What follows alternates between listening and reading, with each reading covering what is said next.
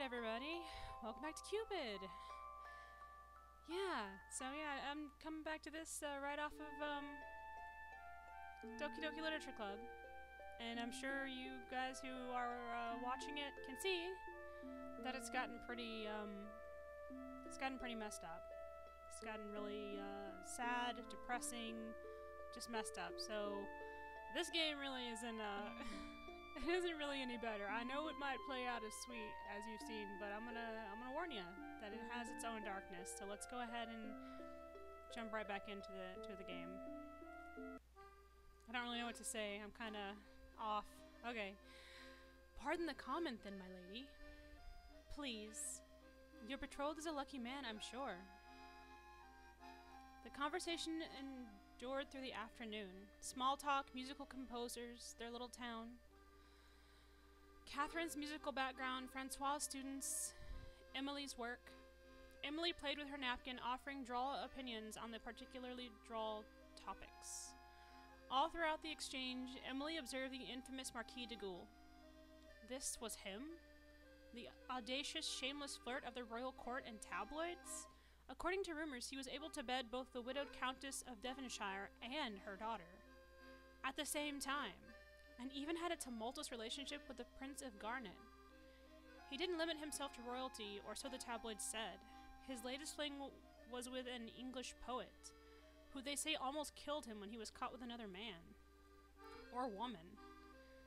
Ah, at this point, who knew what was real and what was a blatant lie made up by the newspapers?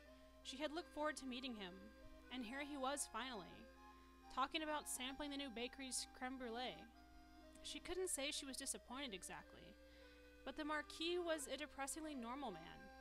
Maybe even boring, Emily ventured. She watched as his gaze flickered across her hair and her nose before lazily trailing away. How infuriating. Ooh, he's looking you over. She wondered if he would suddenly say something coy, or insist to dance with her. Just something outrageous. Honestly, so she could shoot him down. This man whom everyone was interested in. That would be a small victory for reasonable women everywhere. But the Marquis was nothing but polite. He did not ogle. He did not touch unnecessarily. No audacious gestures or suggestive winks of the eye. He would not even look at her for more than two seconds. Maybe she was not pretty enough to flirt with? Emily bit her lip. She shouldn't be thinking that. But there was also times that he would quietly look into her eyes when the conversation lulled. When the words spoken were without meaning, their eyes would converse further. To Emily, he'd started to look lonely underneath the facade of caprice. He seemed tired of all the gallivanting, the rumors, and the numerous flings. We are all a little lonely, aren't we? Perhaps even he? He invited the family over to his chateau and commented on how empty the building felt sometimes. Music was his guilty pleasure. It got him through the cold nights, he said with a sad grin. How he wouldn't mind a warm soul to touch. And before she could stop herself, Emily had begun to imagine his lips on her neck. On one of those cold nights. Emily shook her head, trying to erase the thoughts in her mind. They were having a perfectly mundane conversation. She didn't know where those thoughts came from. Fortunately, her father didn't seem to notice. Music and loneliness struck a nerve with Francois Paride. He had immersed himself in his music tutoring, his students, and Catherine ever since his wife had gotten sick. It had been six years, but sometimes the nights were cold. For Francois, the Marquis was speaking to his soul. He was a kindred spirit. He wasn't a pompous showboat like all the other royalty Catherine had played for. The Marquis even had a wine collection he wanted to show Francois. Such a down to earth, generous young man. Emily, your face is flushed. Are you alright? I'm fine. Just the sun, probably. This was not true, of course. The afternoon sun had already lost most of its heat. Thankfully, Catherine provided a distraction. She ran towards her little huddle and flung her arms around her father's torso, chattering happily about gardens and butterflies. A young, ragged girl followed behind her. Emily wasn't sure how old the girl was. Her dirty blonde hair hid the left side of her face. You could just see the faint traces of scars peeking through. A surge of motherly affection caught hold of her heart. Hello there, young lady. The girl looked down at her toes, but she gave her a shy smile. I see you've made a crown of flowers. You look very pretty. Thank you, madam. Catherine gave it to me. Sister, this is Rosa. She's really nice. She knows the names of all the flowers in Sir Gilly's garden. Catherine, there you go again with your silly names. Sister, help me convince Papa to let L- Rosa stay with us. Catherine? Papa, please, please let her stay with us. She doesn't have anywhere to go. Now, Catherine, that is not very nice. Rosa here is a girl. What does that have to do with her? no, I get what he's saying. He says it right here. She's not a kitten you can just pluck from the street and take home like you always do with your stray animals. Goodness knows we all have that the stray cats of France living in our house. Yes, I know she's not a kitten. I know she's a girl. But shouldn't we take her home even more so? Francois sighed. Guillaume chuckled under his breath. He was clearly enjoying this exchange. Your daughter has some very unique views, Sir Farid. Well, Sir Gilly, what do you think? Huh? Guillaume's face lost his casual bystander look. He's like, oh, I've been pulled into the conversation. You're a marquis. I'm sure my father would follow your orders, right? Shouldn't we take Rosa home? Gammy's brows furrowed at being put on the spot so suddenly. He stole a glance at Francois, who was silently pleading him with his eyes not to humor the child. He cleared his throat. Well, I'm sure it's up to your father, since he owns the house. He will have to clothe and feed Rosa, you see. Yes, but I've got that all figured out. Ever since sister moved to work, nobody minds the house anymore. And I have to wash the dishes every time. Ugh. Papa's so busy, and we always have enough food for the two of us. If Rosa stays, then I wouldn't be so lonely on my own. She'll wear sister's old clothes and will mind the house when both sister and father are away. She can wash the dishes sometimes, and I'll wash them sometimes. Guillaume and Francois shared a look. And besides, if it were up to me, I'd have people take one girl home in their house and give her food. Girls don't even eat that much, not sure about boys. She thought for a bit. But I'm sure it's not too much that people can't take them home too. One time I ate one whole plate of potatoes and my stomach hurt. If Rosa was there, I wouldn't have to have eaten so much. Maybe. Gammy couldn't help but laugh. Francois rubbed his neck in embarrassment. I'm sorry, sire. She's very headstrong. Father, I'm sure taking Rosa in wouldn't be much trouble for us financially, yes? And you and my new work pays better. I'm sure we can adjust. Well, about that. Perhaps if Rosa works in my household, it wouldn't be much of a burden to your family, Sir Parid. Sir Gilly is great. You are truly a kind soul, sire. Not at all. I'm sure I need her help more than she needs mine. Isn't that right, Rosa? In that case, I would love to offer my home to Rosa. Although I am still worried that this is supposed to be more complicated, sire. What about her family or her friends? Are we violating any laws, perhaps? I'm not even sure. As long as it is consensual, sire, the details can be smoothed out later. The girl was quiet the whole time. She was looking at her toes or at Catherine. Rosa, do you have any family, relatives, or friends you stay with? No, sire. My mother died a long time ago, but she guides me always. And I'm sure you guys have seen her mother's guidance, the way that she talks to Rosa. Um, she name calls her and verbally abuses her and stuff like that. It's like a very underhanded sort of guiding. So please don't be compelled to mind me. No, don't go back to the streets, Rosa. It's September. It's going to be really cold soon. Sir Gilly will even give you work. Stay with us. But Catherine. Francois sighed in surrender. All right, all right. She can stay for the night. Papa, just for tonight, then we'll see if she wants to stay for longer. Catherine, you cannot hold people in their place just because you want them there. Do you understand? If Rosa wants to leave, she may leave. You cannot keep her like an object. Guillaume cleared his throat. That is sound advice, Sire Parid. Yes, Papa, I understand. Rosa, please make yourself comfortable in our home. Thank you. Papa is the best. Catherine turned to Guillaume again. Sir Gilly, do you think if everyone will, with a house takes one person home, nobody would freeze in winter? You should make it into a law. They'll obey you because you're a marquis, and because you're tall. Oh, so people obey my orders because I'm tall? What a compliment. Well, you're taller than my papa, at least. He'll never be a marquis. Francois pulled on his daughter's ear with embarrassment. Catherine, mind your manners. I'm so sorry, sire. Guillaume shook his head, his eyes trailing over the Paride family. Emily watched him curiously. That same sadness once again surfaced for the briefest moment. You have a lovely fam- family, sire. I'm quite jealous. You make me want to settle down myself someday. He chuckled. Maybe. Emily's heart skipped a beat. Did he just look at her when he said that? She couldn't be sure.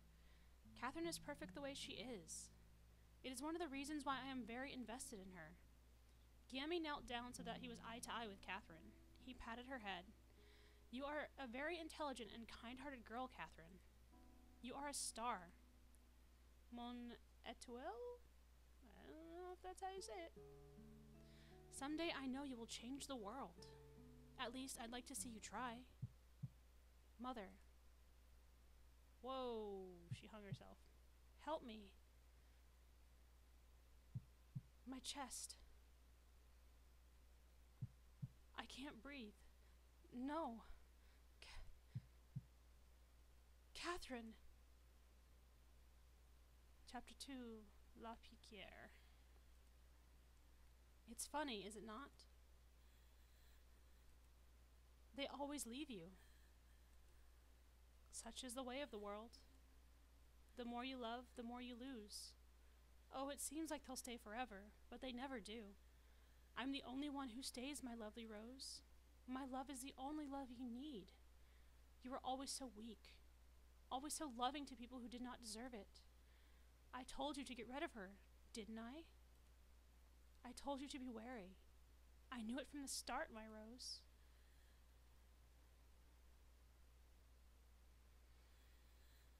Um.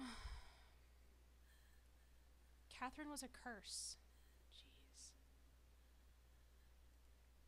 She drove you to a love I warned you about. I knew she would just cause you pain. Glad you're back to me. I was so worried about you, darling. She almost led you astray, away from me. Trust in Mother, darling. I am just glad to have you back to myself. Your silence bothers me, child. She was important to me, Mother. I. I loved her. Mother only laughed as Rosa screamed out her pain. Rosa felt strong arms shake her awake. Rosa. She opened her eyes and was hit by a strange sadness that crushed her. She was dazed for a moment. Why was she so sad? And then she remembered. Her best friend was gone. She was gone. Rosa? How are you feeling? Guillaume sat by her bed, a hand in hers. Rosa didn't realize she had been holding on to it tightly in her fitful sleep. She broke from his grasp and clutched her knees. Rosa? She remained silent. I came to check on you. You went into shock and lost consciousness. I can only imagine how hard it must have been for you to see her like that. His words echoed in her brain, yet she did not register much of their meaning. Rosa still refused to speak, and Guillaume fidgeted with his glove. The wake will take place as soon as possible, Rosa. I just wanted to let you know that she is being taken care of. He's hiding something. There was a slight triumph in Mother's voice. He wants to get rid of her body as soon as possible. Don't you see it, child? Tell me you're not falling for this. Rosa was tired. Mother, always the cynic, would say such things. She hated anyone who came close to Rosa's heart.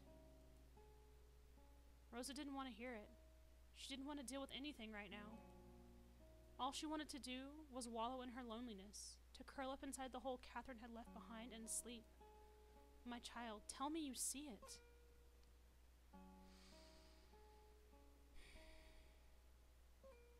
Look at how he is unperturbed by Catherine's death. There is an absence of feeling in him, don't you see? It goes beyond the usual apathy of loneliness. Did he even really love Catherine? How well do you even know him, child? I've known him for as long as I knew Catherine, mother. He is a close friend. I didn't ask how long you've known him, but how well. Beyond the mask that he displays in public view, do you even know his past? Do you even know any of his ambitions or secrets? He was always a private man, Mother. Think back, child. Isn't it curious how all his past relationships have ended in disaster? Everything he touches crumbles. That is not enough to accuse him of anything. You idiot. He is different. He does not belong. You have felt it too, haven't you? Rosa looked at Giami with new eyes now. A hint of doubt slithered out from beneath her sadness. Rosa wanted something to blame, a cask for all her regrets. Giami seemed like the perfect candidate, didn't he? Yes, you're finally seeing it. Open your eyes, child. It made sense. Giami and Catherine's relationship began to, pu- to pewter off into coldness right before she died. Her mental instability only served to compound the fracture in their relationship. Perhaps Giami was tired of her and had her killed off for convenience? Or perhaps Catherine, in her psychotic state, killed herself to spite him? Rosa stared at the man beside her. He is not to be trusted, child. He is a demon. Giami returned Rosa's angry stare with a resolute look. I know you must hate me, Rosa. I am aware that I only aggravated Catherine's condition with my presence. I know the feeling when I am not wanted. He stood up, a hard yet kind look on his face. Just remember that I will always be here for you. As much as I was there for Catherine, even though she spat me out, Rosa bit her lip. When Catherine had refused to eat, it had been Giami who fed her and attended to her. Despite Catherine hurling abuse at him, he had tried to care for the sick woman himself. Lies, all lies, keeping up appearances. Then what is it that he has done, Mother? Catherine committed suicide. It was not by his hand that she died. Are you just going to leave it at that? Look at his face and tell me you trust him wholeheartedly. Rosa tried to search for the answer in Giami's eyes. But as always, his face betrayed only few emotions. I don't know. Mother was screaming now. He killed her. I'm sure he did. And you're letting him get away with it. Please, my head hurts. And you say you loved her? You never loved her, you selfish child. I've always known you were this selfish, just like your father. Stop. You throw people away. Didn't you throw me away when I inconvenienced you? Admit it. You were secretly relieved I died. No, stop it. She screamed back at that last voice. Her mother quivered. Gammy stared at Rosa in shock. The outburst had accidentally come out, aloud. It pulled a plug that kept the tears from pouring out. Now her vision clouded, and she blinked them away again and again. She was not sobbing. She did not, even realize her face was wet. Gammy and Rosa stared at each other, both kindred in their sorrow. He knelt down by Rosa's bed and wiped her tears with his hand. He did not say anything while doing this, and Rosa stared blankly ahead. It almost stunned her how many tears a person's eyes could carry. I loved her too, Rosa. He said it after a while. I know what you're feeling. She didn't know if it was her own or if Mother's anger was somehow influencing her, but her chest heaved. She balled up her fist so tightly that her fingernails hurt. Shut up. She spat, and the man recoiled at the uncharacteristic bitterness of her words. Catherine was afraid of you in her last days. You did something to her, I know it. She could feel Mother inside her head building up her anger. He has to be punished. You're to blame. He has to atone. I know you're guilty. He must be punished. Giami stared at her dumbfounded for a few seconds, but the man didn't try to appease her. He only stepped closer to Rosa and wrapped his arms around the hysterical girl. Let go of me. I hate you. Let me go. But Giami didn't. If you need something to hate, then I'll accept your hate. But you must accept my comfort too. I need you too, right now, Rosa. You're the only one who loved her as much as I did. Giami's words brought back Catherine and Rosa's mind. Almost at once, the anger was replaced with a sadness so heavy she couldn't breathe. Why was she so angry again? She was focusing on anger instead of pain. It was easier. The real tears came, all the loss of the girl they both, lo- they both loved. Tomorrow was not going to come. There was only, right now, the loss and two friends mourning a loved one. Rosa cried until she thought she wouldn't be able to stop, and Gammy quietly held her. Slowly her weeping began to subside into sobs, and only then did he speak again. Stay in the chateau, Rosa. I know you were thinking of leaving now that Catherine is gone, but I can't let you wander the streets again. I will take care of you. It's what Catherine would have wanted. Like a spell being broken, these words brought back her anger. How could you possibly know what Catherine wants? She pushed his arms away from her. She's dead. Gammy's mouth pursed, and he stepped away. I want you to go. Please leave me. Giami sighed and closed his eyes. I understand. He turned on his heels and left without another word. So, as you guys can see, like I said, this one gets dark too. Um, yeah, her friend, Catherine, um, the girl who played the piano, wound up killing herself. Um, and you'll find out the reason why later. But I hope you guys are enjoying the two playthroughs I'm doing, Doki Doki Literature Club and Cupid. Both of these games are very dark um, in very different ways. And the further we get into Cupid, the more is going to become apparent to you. And uh, you're going to start to understand exactly what happened to Catherine.